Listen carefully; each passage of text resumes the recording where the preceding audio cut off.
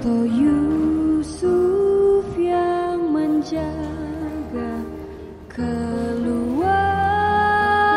Nazaret? Kau menjaga bunda kudus juga Yesus penebus. Sudilah doakan kau